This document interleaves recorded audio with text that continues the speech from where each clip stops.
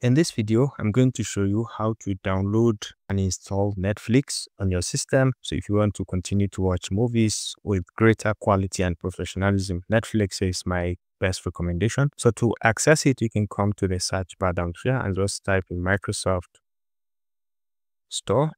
And you can see it over here. Can click and then you will be able to now go ahead and search for Netflix. You can just search for Netflix Hold on enter.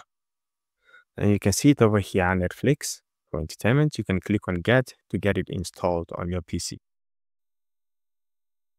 And you can see it over here right now. It's just been installed. So you can click to open it.